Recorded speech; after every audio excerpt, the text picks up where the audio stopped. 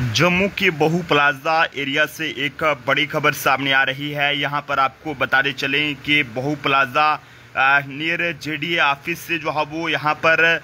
तीन कश्मीरी युवकों को पुलिस ने गिरफ़्तार किया है। गिरफ़्तार किए गए तीनों युवकों की तस्वीर इस समय जो है वो आप सब लोगों की मोबाइल स्क्रीन पर है। वीडियो को जितना हो सके ज़्यादा से ज़्यादा शेयर कीजिएगा। एक बड़ी कामयाबी जो है वो जम्मू पुलिस ने हासिल की है, जिसमें बताइए जा रहा है कि एक गाड़ी जो कि शिव मार्केट से जो है वो रेलवे स्टेशन की ओर जा रही थी, हरियाणा नंबर की गाड़ी है, जिसका जेरे number H R six two A six two A six five one eight है और ऐसे में फ़िलहाल इस गाड़ी को जब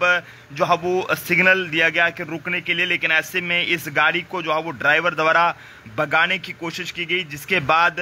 इस गाड़ी को जो है पुलिस ने पकड़ा है और पकड़े जाने के बाद तीन जो कश्मीरी युवक हैं, उन्हें जो है वो गिरफ़्तार किया है। कश्मीर की किसी भी कोने से ताल्लुक़ रखते हैं, चाहे वो बडगाम हो या फिर गांधरबल हो, श्रीनगर हो, पुलवामा हो, कुलगाम हो तो जनाब इस खबर को ज़रूर सुनिएगा कि आखिरकार किस तरह से ये तीन युवक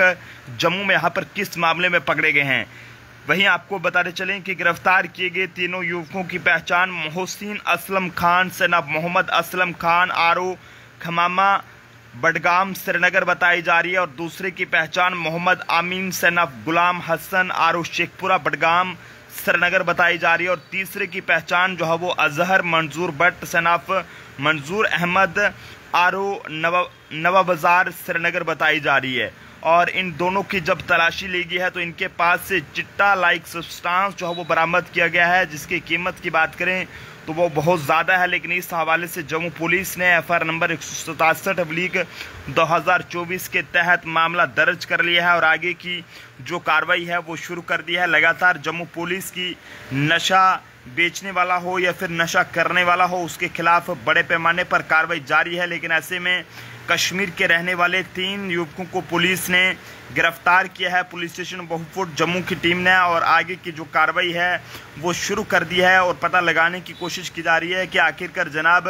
इन तीनों कश्मीरी युवकों के पास ये खतरनाक नशा जो है, वो कहाँ से आया है? लगातार इससे पहले भी कल सिदड़ा पुलिस ने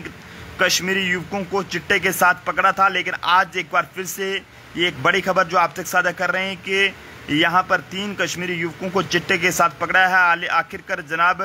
इन कश्मीरी युवकों के पास ये चिट्टा जैसा नशा आ कहाँ से रहा है, ये वाली सोचने वाली बात है, लेकिन पुलिस से अपील है कि इस पूरे मामले की निष्पक्ष तहकीकात की जाए और पता लगाने की कोशिश की जाए कि आखिरकार ये तीनों युवक कितनी देर से ऐसा काम कर रहे हैं और कितने लोग इनके साथ जुड़े हैं। तो ज़रूर आप लोग भी अपनी अपनी राय साझा करें कि आखिरकार ऐसे लोगों के खिलाफ़